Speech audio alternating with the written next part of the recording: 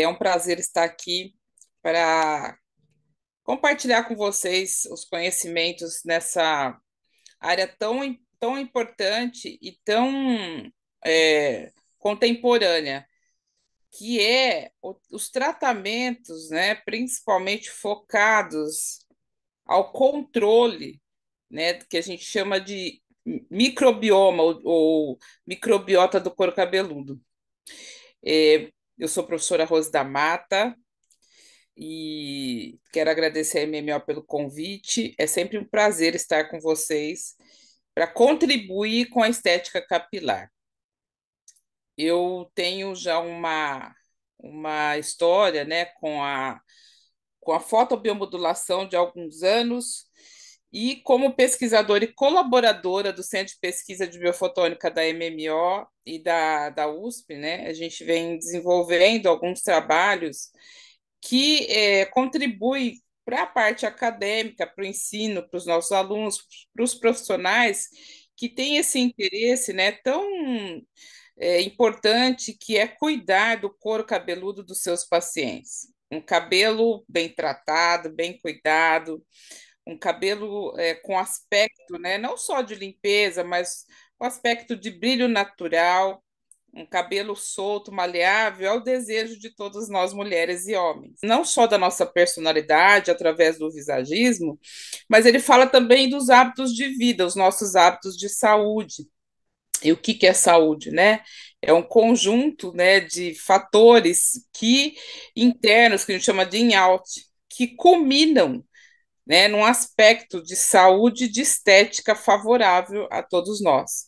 Então, quando eu falo de saúde do cabelo, eu falo em saúde interna também. E a gente vai falar um pouco sobre isso agora, porque que a gente tem visto não só a, a, a saúde debilitada interna, mas refletindo na nossa saúde externa, que é a nossa estética capilar.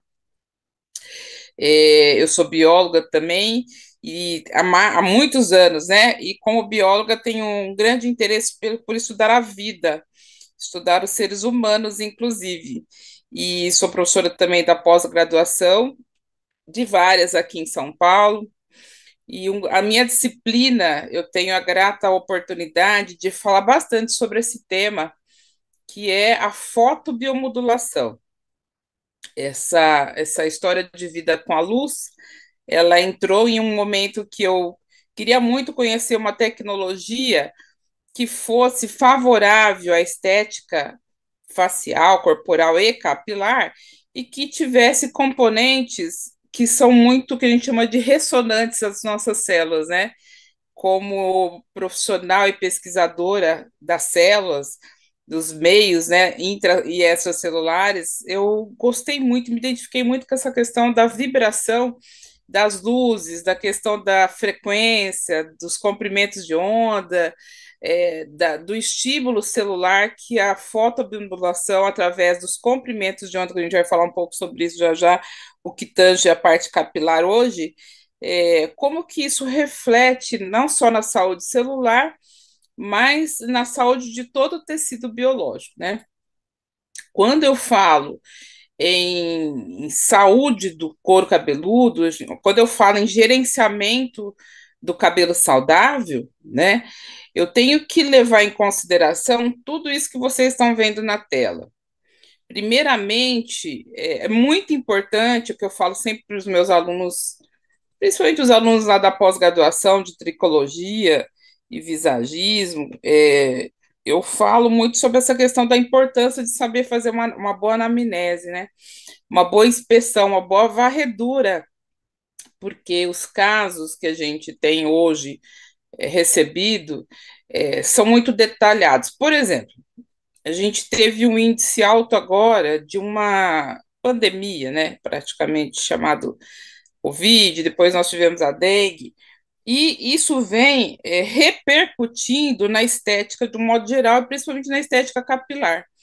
Na estética capilar, a gente percebeu que houve uma mudança até abrupta na questão da saúde do couro cabeludo.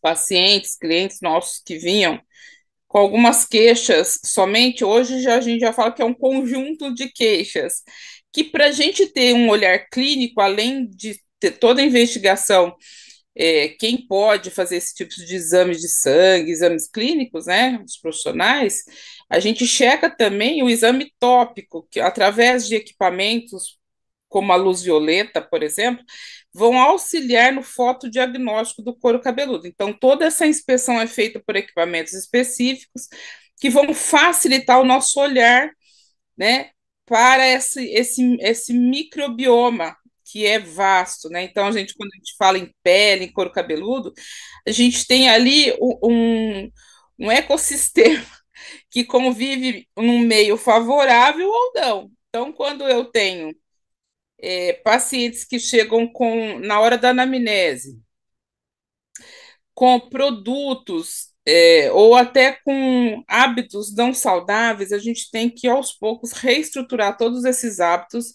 seja no uso do shampoo, seja nos hábitos é, de lavar o cabelo com água quente. É, inclusive, recentemente eu tive num congresso médico e ali nós tínhamos uma, uma empresa fornecendo né, para os médicos é, um filtro de, de chuveiro. achei tão interessante, inclusive eu tenho ele. Esse filtro ele tem várias camadas, então ele tem carvão ativado, ele tem zeólita, que ajuda muito na hora que, os, que nós uh, vamos lavar o cabelo. Vocês sabem que o cloro em contato né, com o calor do, da, dali do chuveiro favorece né, toda essa, essa modificação do couro cabeludo, toda essa alteração. Né? E aí esses filtros têm favorecido também na hora da lavagem. A gente tem visto isso muito nos salões de cabelo. Então, todo esse fotodiagnóstico do couro cabeludo, ele vai com uma conversa aí, com um diálogo com o nosso cliente que vai mais de uma hora desde como ele toma banho, chuveiro, shampoo, os produtos, os dermos cosméticos que eles usam em casa, o que ele se alimenta, se ele dorme bem ou não. Isso fala muito do, da evolução do nosso tratamento, tá? Porque esses, é, quando a gente fala em individualização do tratamento, é isso. Cada paciente chega com histórico, cada paciente chega com hábitos. E corrigir isso não é fácil, né? E o fotodiagnóstico vai mostrar para ele, inclusive, a gente tem essa máquina que a gente consegue registrar no nosso celular para ele ver como está a condição do couro cabeludo dele. Que muitas vezes o paciente só sente uma coceira, um incômodo, né, é, no couro cabeludo, mas não sabe como é que está essa bioflora ali, né? E aí a gente consegue com a máquina mostrar para ele como é que tá essas condições reais do couro cabeludo dele.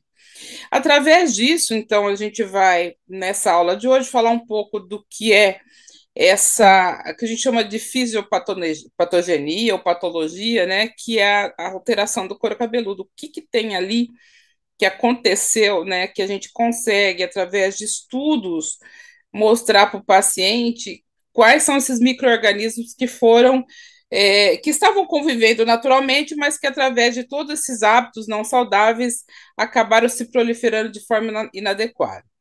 E vamos então, através disso, junto, muitas vezes até com equipes multidisciplinares, né, investigar o que está relacionado com essas alterações, se são endócrinas, se são nutricionais. Eu tenho recebido muito, muito paciente que não sabia que tinha doença autoimune, e a gente, é, muitas vezes, em conjunto com o médico, acaba investigando e aprofundando e descobrindo determinadas patologias autoimunes também.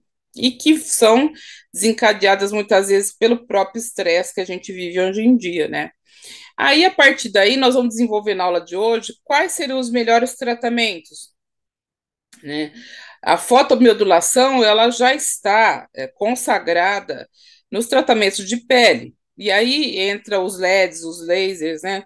Que a gente chama, junto com esses LEDs e lasers de baixa potência, que não vão é, gerar aquecimento na pele e que vão, o contrário, vão modular essas células, né, ali do couro cabeludo, o folículo piloso, nós temos também associado a isso o que a gente chama de terapia fotodinâmica, que vem contribuindo há muitos anos já com a pele, com o, o, os médicos, inclusive, que fazem o uso dessa terapia fotodinâmica, e a gente trouxe para a estética capilar, vocês, eu vou falar um pouco sobre isso. E aí, associada a protocolos, a gente vai mostrar quais são os protocolos mais atuais para tratamento dessa desbiose. Então, sempre é, a nossa aula fala sobre como que a gente chegou a esses protocolos. Para isso, é óbvio que a gente precisa de um conhecimento mais aprofundado de o que, que o paciente toma, os medicamentos, um histórico hormonal do paciente, a gente avalia tudo isso também, porque muitos pacientes nossos, ou clientes, né, como vocês queiram chamar, eles têm hábitos, né, além de que a gente chama de estilo de vida não saudável, não dorme à noite, uma deficiência nutricional, tudo isso aí a gente fala muito nas nossas aulas e, e vai a fundo nisso, né? Mas se você tem a possibilidade de trabalhar em equipe com médicos que falam, nutrólogos que estudam a parte hormonal do paciente, que tem muito paciente que está é, com um nível de estresse tão agudizado que a melatonina do paciente, que é aquele hormônio que é produzido aí à noite, né, num determinado horário, ela tá tão baixa e o cortisol, que é o hormônio do dia, tá tão alto, tá tão em desarmonia, que o paciente não consegue dormir mais. E aí, se ele não dorme, toda aquela cascata inflamatória que a gente estuda muito na fotobiomodulação, né? É, ela, ela está agudizada. E a gente tem visto, sabe o quê?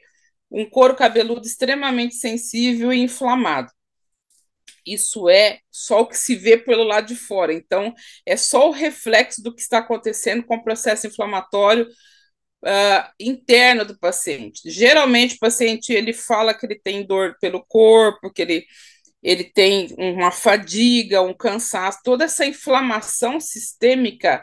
Ela, a ponta do iceberg é o couro cabeludo, é a unha, é a pele, que geralmente apresenta inflamações não muito explicadas. Por isso que a gente aprofunda nessas desordens capilares para saber exatamente qual é o estilo de vida e o que, que o paciente, é, como é que ele conduz tudo isso no dia a dia. Quando eu falo em saúde do couro cabeludo, né, eu tenho que entender que saúde né, é, um, é um conjunto de situações que a gente, vocês estão vendo aqui. Por exemplo, quando eu falo em saúde, é, eu tenho que entender como que é a minha respiração, como é que é a minha respiração, eu não falo só de respirar ar, minha respiração celular, tá, será que esse paciente tem uma oxigenação celular adequada, né? As trocas metabólicas do meio interno e meio externo estão favoráveis, né? É, geralmente, eu, eu, na minha anamnese, eu já detecto uma falta de oxigenação, não só na respiração do paciente, mas também na oxigenação da pele. Eu tenho recebido muito peles ou exacerbadamente inflamadas com eritema, rosácea, couro cabeludo também com rosácea, é, ou uh, também peles extremamente sem oxigenação, sem a microcirculação muito ruim, peles que a gente chama de apagada, né? Opaca, opacidade, uma pele amarelada, o couro cabeludo também. Então, tudo isso leva em consideração que a gente chama de um conjunto de situações que a gente chama de disbiose. O que, que eu tenho que, então, promover aí nesse conjunto de situações de micro-organismos que vão, por exemplo, quando eu tenho uma proliferação da malacésia, que é um fungo que fica ali no couro cabeludo, às vezes até naturalmente em determinadas épocas da nossa vida, é, essa malacésia ela se prolifera na presença de oleosidade excessiva. E esse sebum, que a gente chama, ele faz uma hidrólise. E essa hidrólise, ele, ele irrita o couro cabeludo. Essa irritação é visível num equipamento nosso chamado Evince. O couro cabeludo está tão oleoso, com tanto sebo, né? Que é, o couro cabeludo fica vermelho, irritado, coçando. E aí, o que, que ocorre? No extrato córneo, a gente tem uma penetração de ácidos gráficos, né, que são ali foram hidrolizados, porque a gente não controlou esse sebo. Essa penetração desse óleo vai causar o quê? Distúrbios naquela região que vocês estão vendo ali à direita, que é o extrato córneo. Aí, com tudo isso, pode haver uma hiperproliferação dos queratinócitos, começa a ter descamação, caspa, muitas vezes uma dermatite seborreica também, que vem o óleo mais descamação em conjunto, né? E o corpo, ele é muito sábio, ele vai produzir o quê? Uma resposta imunoinflamatória. O couro cabeludo vai ficar eritematoso, muitas vezes com prurido, descamação, vermelho, a superfície da pele vai ficar não só com flocos de caspas causados ali por um excesso de microfragmentação dos queratinócitos ali e tudo mais, nós vamos ter a produção também né, de mais óleo. Isso vira um ciclo, como vocês estão vendo aí, um ciclo vicioso. E os fungos oportunistas, como por exemplo a malacésia, né, tem outros que eu vou mostrar já já, eles aproveitam de todo esse ambiente, esse microbioma desorganizado e vão se proliferar. Qual seria o caminho, né? Primeiramente, melhorar toda a questão da oxigenação. A, ali falta também um meio hidratado, porque existe uma descamação por excesso de ressecamento também, não só por óleo, então melhorar a autoidratação interna e externa do paciente. Por isso que eu citei a questão do, do banho, do chuveiro, né? A gente tem agora uns filtros muito legais, que eles filtram cloro, filtram todos aqueles micro um, minerais, aqueles micro, aquelas micropartículas que são nocivas ao couro cabeludo. Então, melhorar a hidratação, seja interna e externa, nutrição, né, seja interna e também do couro cabeludo. O que é nutrir o couro cabeludo, né, gente? A gente tem é, substâncias que a gente pode colocar através de tônicos, dermocosméticos, que são importantes para a alimentação desse folículo pilosebáceo. Diminuir o estresse oxidativo, então, se o couro cabeludo é, está com extremamente é, com radicais livres, presença de muito, muito, muito peróxido de, de, de óleo ali, a gente tem muito radical livre. E aí isso é um meio favorável a proliferar fungo e o cabelo pode, é, geralmente, começa a cair se tem tendência para isso. O processo inflamatório é agudizado a gente, quando tem uma inflamação não tratada, o corpo vai gerar, através da nossa imunidade, uma resposta imunoinflamatória, pode degradar o folículo com o tempo e a gente ter uma queda de cabelo aí do, uh, causada por uma, por uma disbiose do couro cabeludo. Eu coloquei ali no último item rigidez do colágeno. Nossa derme, que é ali é a segunda camada, né, ela tem a produção de colágeno pelo fibroblasto e a gente precisa manter, manter esse ciclo biológico da produção de colágeno adequado para que o cabelo tenha uma boa ancoragem. Então, quando a nossa derme, ali, o fibroblasto está produzindo um colágeno, né, tipo 3, um colágeno que tem uma boa maleabilidade, o, o, o, o fio do cabelo está ancorado adequadamente. Mas quando a gente começa a ter uma degradação desse colágeno, bom, o colágeno começa a ficar mais rígido, né? A gente tem o que? O que a gente chama de cabelos quebradiços, por isso que é importante manter a saúde do couro cabeludo. É isso o tema da nossa aula de hoje. Então, a condição do couro cabeludo, ele afeta, lógico, o crescimento por meio do estresse oxidativo. A gente estuda toda essa questão do meio é, ambiente, né, do couro cabeludo, que tem uma ação direta pelos poluentes, pelos raios solares, é, pelos agentes oxidantes. A gente tem aí um, um nicho muito grande para estudar. Isso que eu gosto de estudar, né?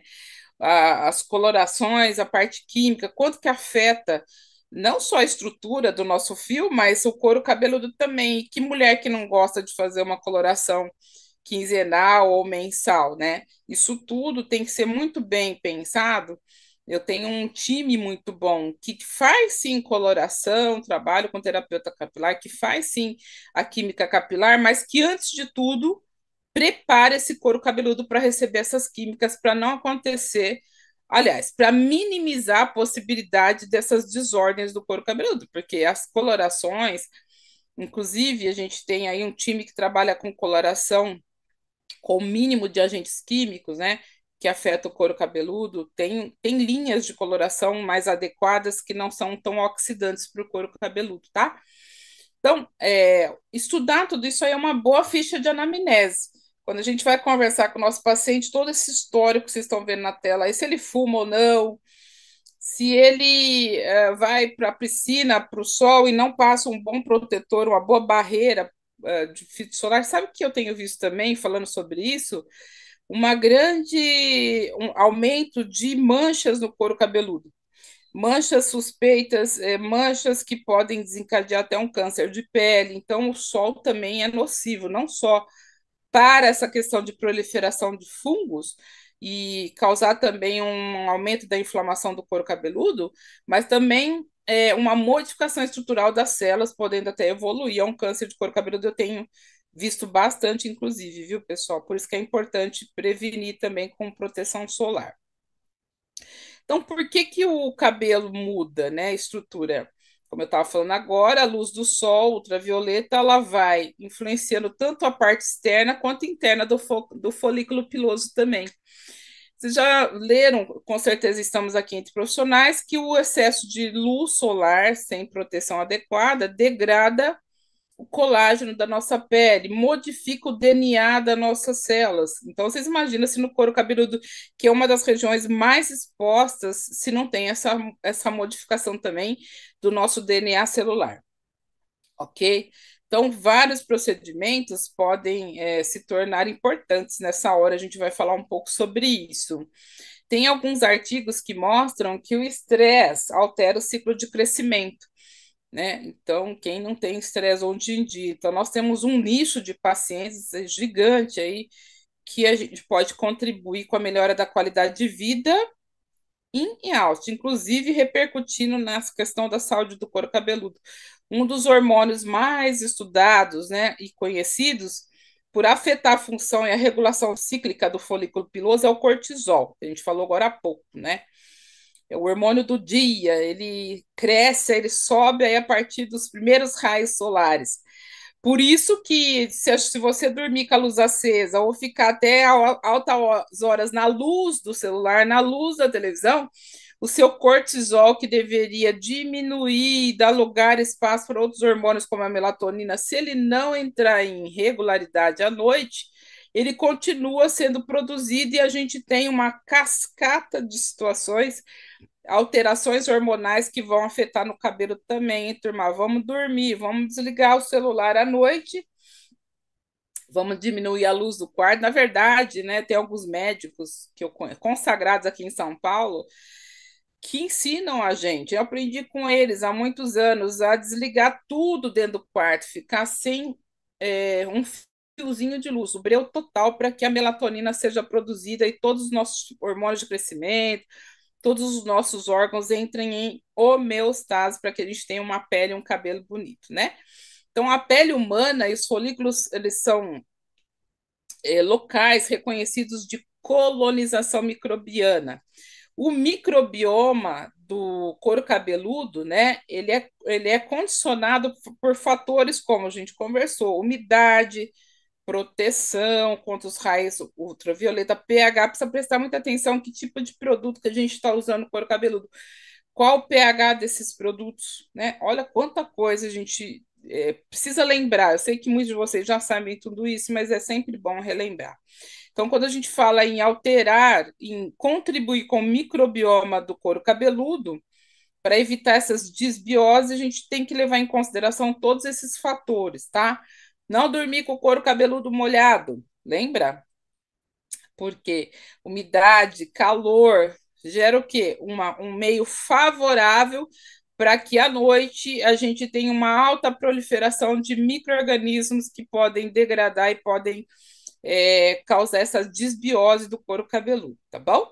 Então, abordagens que tratam essa desbiose, gente, é, vamos falar de cosmético, vamos falar de luz, vamos falar um pouco de cada, de cada situação aqui, ok?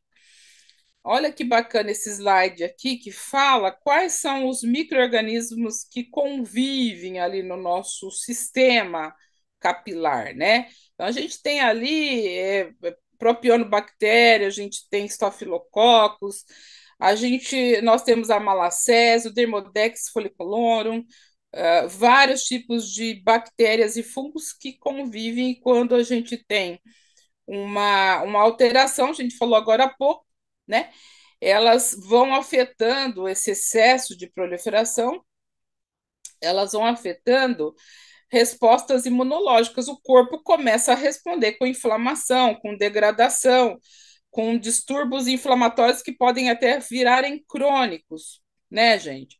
Então, esses bactérias aí, olha o folículo, um fundíbulo lá, onde que penetra essas monte de micro-organismos que podem ser nocivos e causar, inclusive, não só inflamação, essas citocinas e quimiocinas, elas levam a uma afetar, inclusive, o crescimento do cabelo. Aí, o meu cabelo está caindo, não está crescendo, eu estou cheio de coceira. E não cuide, vive tomando banho com água quente, não faz aí as proteções contra o cloro, não faz o tratamento, não faz um bom diagnóstico, a gente não sabe às vezes por que está caindo. Está explicado na tela para vocês, ó, uma descompensação da proliferação de todos esses micro-organismos, né?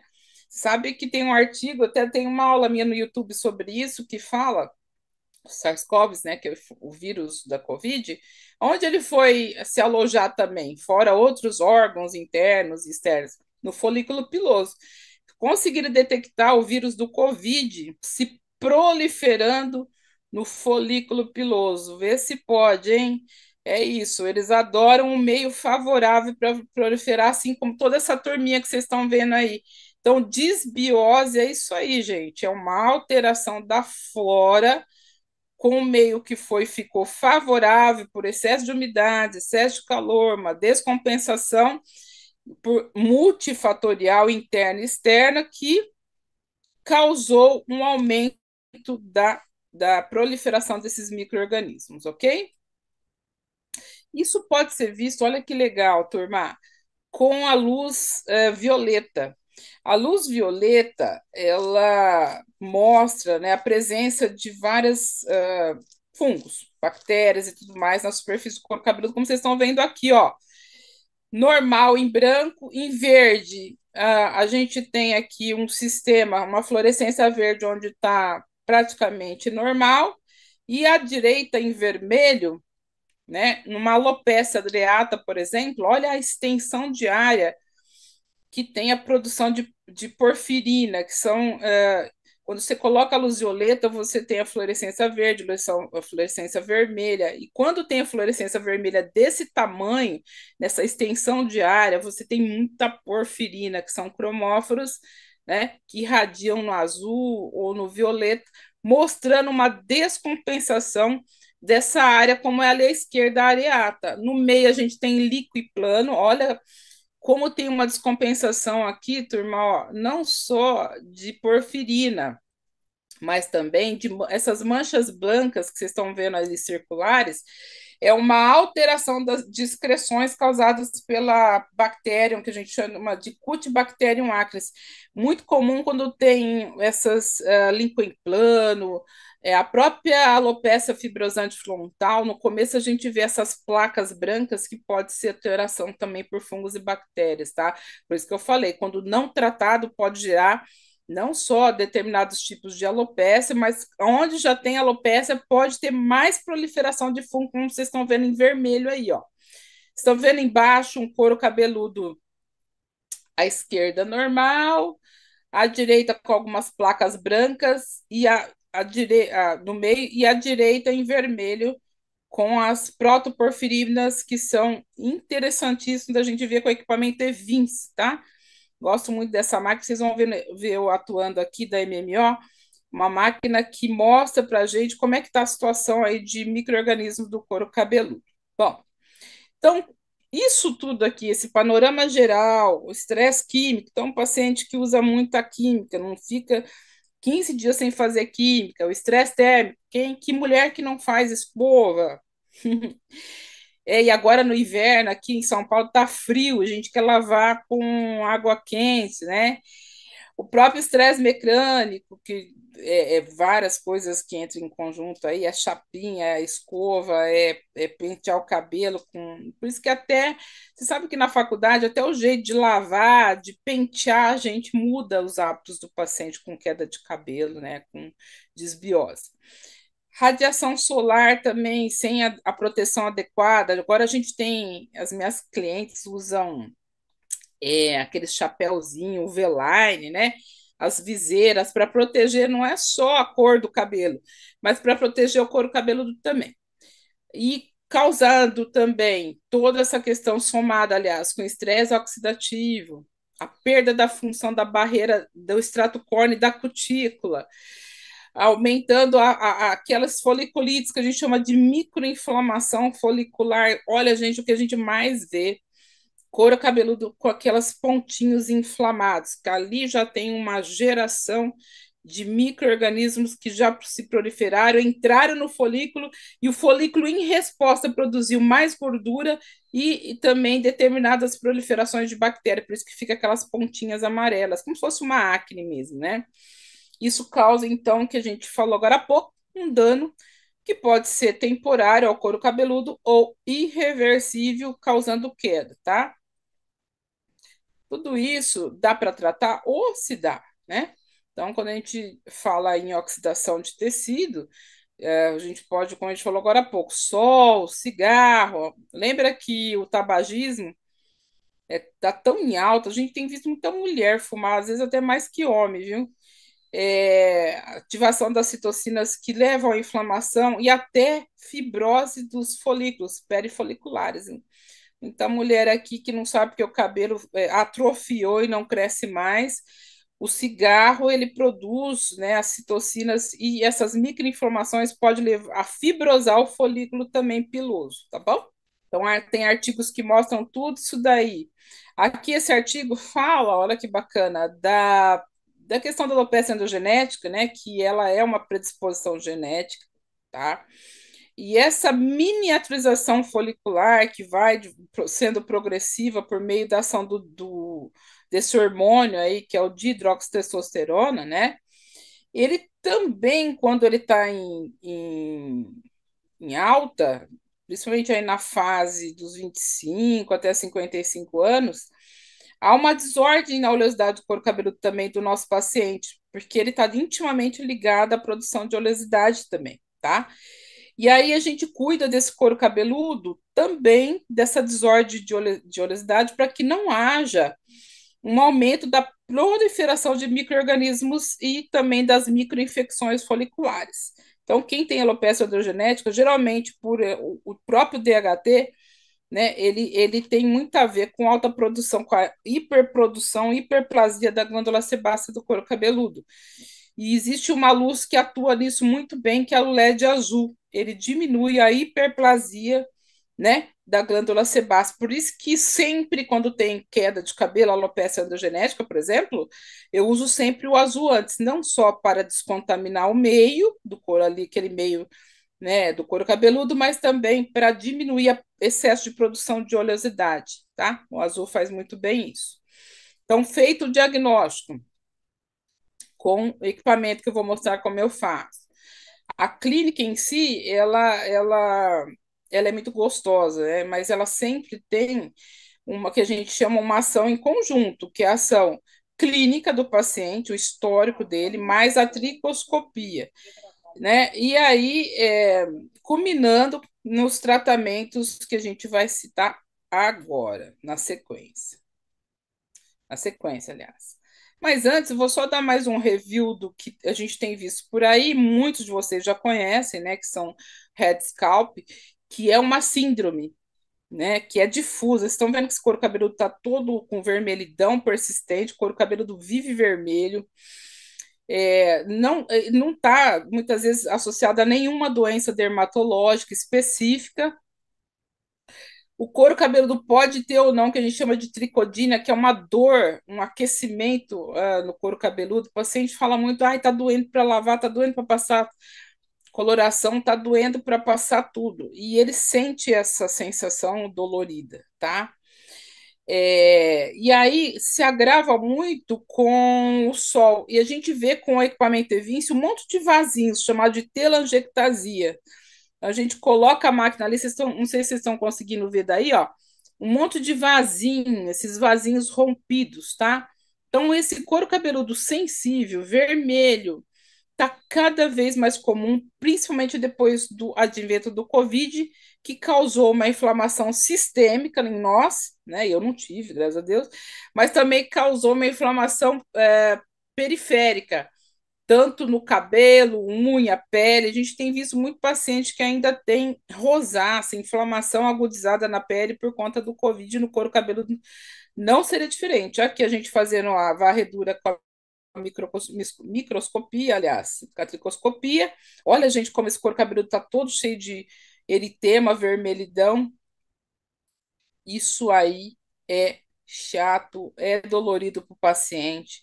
A gente tem que ter um olhar de muito cuidado e muito carinho para os pacientes que estão chegando com esse quadro, com essa síndrome, né? somado também essa síndrome, a gente tem outra que é a burnout do couro cabeludo. Agora todo mundo tem burnout. Burnout de estresse, burnout de trabalhar muito, e tem a burnout do couro cabeludo também, entre aspas, tá? Então, é, há uma espe especulação que isso daí pode ser causado, é multifatorial, tá, gente? Mas uma exposição exacerbada do, do, de sol, tá? É, essa sensibilidade é, do couro cabeludo que a gente chama de burnout, junto com a tricodina, que é um também agudizado, uma dor no couro cabeludo, né? É, uma vermelhidão e uma dor, a gente geralmente na tricoscopia a gente vê uma inflamação perifolicular, tá? Existe essa substância aí que ela sugere uma conexão entre a irritação sensorial e uma reatividade cutânea. Ela está muito ligada à parte vascular, tá? um aumento da microcirculação periférica, que pode ter sido multifatorial e algo que a gente tem visto muito, quem trabalha com exame clínico, aumento do cortisol, que é o hormônio, aspas, do estresse, né? Então, esse couro cabeludo com desbiose, ele tem que ser cuidado, né? Ele está sensível, ele pode apresentar prurido, microinfecções, como vocês estão vendo aqui na tela, ó. E essas doenças, elas podem culminar também em outras associadas, como a dermatite seborreica. A gente tem visto um aumento do quadro de psoríase, né, que é uma doença autoimune. Outro quadro que tem chegado para nós bastante, a dermatites, de um modo geral. Ah, tem paciente que tem apresentado, antes não tinha uh, nenhuma reação alérgica, agora dermatite de contato alérgico a produtos, tá?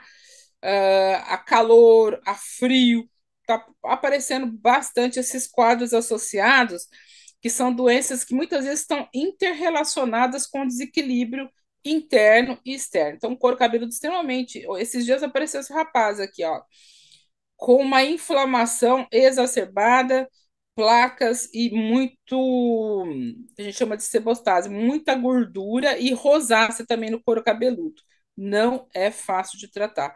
Muitas vezes tem que entrar com medicamento também associado com o médico, tá bom? A dermatite seborreica já vem sendo estudada por nós. É, tem gatilhos. Quais são os gatilhos que provocam isso? Será que é, é, a gente falou um pouco dos, dos ambientes, né, que o couro cabeludo frequenta, como chuveiro quente, estresse, sono, dormir com o cabelo molhado, cigarro, muito sol, todo esse microbioma em, em desequilíbrio, né? A gente vai cuidar. Óbvio que às vezes tem paciente que precisa ter um suporte emocional também com um profissional adequado, porque ele já entrou numa fase tão agudizada, ele está tão desesperado que ele tem que sair desse ciclo emocional e a gente precisa às vezes de um suporte profissional também, tá? Bom, é, aqui também um artigo que mostra o tratamento do couro cabeludo, né? Eu gosto muito de cuidar de pacientes com. Como eu sou professor de massoterapia, shiatsu-terapeuta, acupunturista, eu vejo isso de uma forma sistêmica, né, gente? Não só tópica. Então, eu gosto muito de tratar a sensibilidade. O couro cabeludo sensível é, é algo, é um alvo uh, nosso aí bem importante na tricologia, tá? Então, eu associo técnicas, tá, turma? Eu associo tópico LED vermelho para modular a inflamação do Luminous, por exemplo, que eu uso muito na clínica. Eu uso muito o ILIB, que é essa caneta aqui que vocês estão vendo, ó. ela irradia luz e aí você pode deixar o paciente com uma pulseira sistemicamente modulando todo o processo inflamatório. Então, todo meu tratamento ele fa eu faço tópico, mas eu faço sistêmico também com a terapia de luz e lib, tá? Então, gerenciar essa disbiose, né? É, é tudo isso que a gente vem falando agora para que é, a gente tenha um, um benefício aí mais a, a longo prazo, porque, é, por exemplo, o paciente vai lá na clínica nossa, a gente faz óleos essenciais, argila verde, a gente faz a terapia fotodinâmica com curcumina, a gente tem um tônico que tem açafrão, que a derivada é a curcumina, eu uso a luz azul do Luminous para fazer essa terapia fotodinâmica da cúrcuma com azul, quer dizer, esse, esse conjunto de terapias ele vai ter uma ação na diminuição da inflamação do couro cabeludo, vai diminuir a, a, toda a questão dessa desbiose, dessa descompensação, e vai restabelecer a barreira, porque o couro cabeludo está sem barreira, está absorvendo tudo. Então, todo microorganismo que passar por ali está entrando dentro do folículo. Então, restabelecer a função da barreira cutânea através da luz azul, da luz vermelha e desses dermos cosméticos, como a curcumina, por exemplo, que é fantástica, é antioxidante, anti-inflamatória, junto com a luz azul é, é muito interessante, tá? Então, a luz azul já tem vários artigos que mostram que ela atua no processo microbiológico, no controle de fungos e bactérias. Então, ela também diminui o que a gente chama de hiperprodução de óleo. Então, se tem muito óleo, o, o fungo oportunista adora, né? Aquela hidrólise do óleo do couro cabeludo e vai se alimentando daquele excesso de óleo. E aí, esse óleo em excesso, como eu disse lá no começo, vai irritando o couro cabeludo e vai produzindo o quê? Mais células de defesa, mais célula morta, aí vai criando aquelas crostas, né? O fungo adora, os fungos, os micro adora se alimentar de todo aquele meio ambiente favorável à proliferação. Por isso que a gente precisa controlar esse óleo, por isso que a gente precisa controlar esses micro-organismos aí, tá bom? Então, esse artigo eu achei bem legal para deixar aqui para vocês uma parte deles, né? Que é um ensaio que foi feito com a terapia fotodinâmica, que é, é sou fissurada nisso aí, né? Ação de substâncias como a cúrcuma, azul de metileno, para o controle da acne, para o controle da foliculite. Esse artigo ele fala que a luz azul, em associação né, com substâncias como a cúrcuma, azul de metileno, podem gerar um efeito benéfico para o controle da disbiose do couro cabeludo, da pele, da acne, Aqui, nesse caso, foi feito no rosto, né? E a conclusão do estudo fala justamente desse as medidas foram feitas, né? Mostrando, olha que bacana essa máquina aqui, como Evincio, ela mostrou. Estão vendo que está cheio de porfirina no início, no final diminuiu a proliferação das porfirinas, que são essas bolinhas laranjas aqui, ó, muito presente no óleo, muito presente nas bactérias. E a conclusão do trabalho foi que a terapia fotodinâmica ela controla né, essa proliferação de substâncias, de micro-organismos que podem alterar, inclusive, né, o couro cabeludo e a pele também, tá? Então, existe sim é, o trabalho que fala aí, mas eu faço isso no dia a dia direto com o Evince, inclusive, vejo a diminuição dessas, desses micro-organismos, e esse estudo ele mostra, é um estudo bem bacana, que mostra aí como que a luz azul vai modular o microbioma cutâneo, tá? Microbioma é, não é só bactéria da acne, a, como a, a Cutibacterium acnes, não.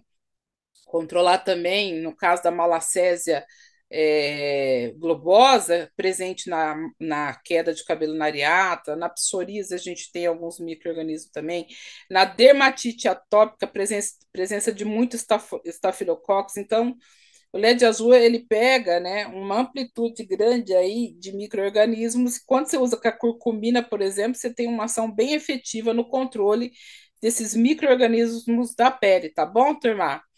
Então, é, mais aqui a parte do artigo, eu fiz questão porque é um artigo bem bacana que fala justamente desse controle para modular o microbioma cutâneo, tá bom? É, e esse artigo ele fala, inclusive a conclusão dele, ali embaixo, onde eu deixei, deixei circulado, que um conjunto crescente de evidências né, indica que o nosso microbioma cutâneo possui a capacidade de detectar e responder à luz azul através da expressão de cromóforos, pode modular então respostas fisiológicas que vão desde a cito, citoxicidade à proliferação. Então, ele controla toda essa questão das citocinas inflamatórias produzidas pelos micro-organismos, tá bom? Onde eu aplico, então, a luz azul? Quais os comprimentos de onda? A luz azul não, as luzes, no modo geral. Por exemplo, o vermelho, que a gente está aí entre 600 e até próximo dos, 7, dos 8, do 800, que já entra no infravermelho, a gente é, consegue ter um aumento de permeação, deixa eu voltar aqui, na regularidade da cadeia respiratória das células. Então, a gente tem uma, uma melhora na, na, na oxigenação do tecido, na vascularização, tudo que eu preciso se tem desbiose, né, na pele, no couro cabeludo eu tenho que melhorar a condição da, da membrana celular. Na mem, a membrana das células do folículo piloso elas precisam estar mais restauradas, e a, luz vermelha faz isso. Né? Ela tem todo aquele efeito biológico, a gente já conhece bem na estética, para restaurar a pele, para cicatrizar, para modular a inflamação. Isso é fundamental se eu quero melhorar a barreira cutânea, a barreira da pele do nosso couro cabeludo. Então, a luz vermelha ela ultrapassa aqui a, a, a, a, membrana celular e ela, ela tem uma profundidade, ela vai até a derme. Então, ela atua em todas aquelas células da, da epiderme e vai até as células ali da derme. Olha que bacana, melhorando inclusive o que, gente? Produção de colágeno. Eu preciso que esse fio aqui à direita esteja ancorado na derme ancorado na produção de colágeno ali pelo fibroblasto. Então, se esse fio está bem ancorado, ele não vai cair com tanta facilidade. Então, a luz vermelha ela é extremamente aplicada e útil na terapia capilar, assim como a azul, que é mais superficial. Azul ela tem uma ação aqui, ó, mais na parte superficial da epiderme, mas aqui está cheio de proliferação de micro-organismos, oleosidade excessiva, e a luz azul ela penetra assim na epiderme, aqui na camada basal, por isso que ela controla, inclusive, onde vocês estão vendo aqui uma bolsinha, a glândula sebácea, ela controla a produção de óleo dessa glândula sebácea, que em excesso, produção vai causar o quê? Desbiose também do couro cabeludo, tá? Então, as tecnologias que a gente usa mais comuns e mais no dia a dia nosso é o E20, que vocês estão vendo aqui, ó a gente faz uma varredura com ele e uma inspeção no couro cabeludo. Vocês estão vendo que esse couro cabeludo está cheio de bolinha laranja, ó. Tudo cheio de proliferação de fungos, né? E aí, o LED azul, eu deixei esse vídeo para mostrar que tem que ser de forma pontual, pelo menos de 50 segundos a um minuto por área, para que ele tenha uma ação efetiva na descontaminação, tá? Não façam varredura para lá para cá, para lá para cá, porque você não vai ter a penetração desses fótons. Por isso que eu estou mostrando aqui no, no vídeo. Ó. Não afastem muito a luz, de preferência de você fazer ele mais pontual e parado para você ter tempo dessa luz ter o papel fundamental que é a descontaminação do couro cabeludo e o lúminos ele tem esse, essa ponteira, ó, que facilita essa acoplagem. Por isso que equipamentos que não tenham ponteiras como esse tem, ele é mais difícil, porque você vai ter que afastar um pouco do couro cabeludo e a gente acaba perdendo muita penetração dos fótons ali no folículo piloso, o que não nos dá muita certeza que isso teve uma efetividade no controle desses fungos e bactérias, tá, pessoal? Então, aqui seria meio que como eu trato, né? A luz vermelha diminui a inflamação, tão importante aí nos processos de desbiose, né? E restabelece a função da barreira cutânea. Eu uso muito a azul, a vermelha depois do azul, também um minuto aí, um minuto e meio por área. Esse trabalho foi feito por um aluno nosso da pós-graduação em biofotônica, que é o Leandro, que foi feito em dermatite seborreica, olha que bacana o controle né, microbiológico do couro cabeludo em dermatite seborreica.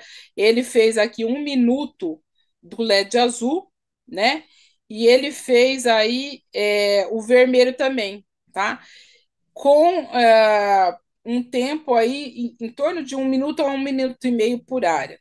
Então, é importante é, a gente mostrar alguns estudos que foram feitos em dermatite seborreica. Esse estudo aqui eu fiz com uma espuma com cúrcuma e azul de metina. Deixa eu ver se eu consigo rolar o vídeo aqui para vocês. Espera aí. Essa espuminha, ela é bem legal. Ela faz a terapia fotodinâmica. Aqui tem cúrcuma e azul de metilena. Então, eu passo essa espuma primeiro, né?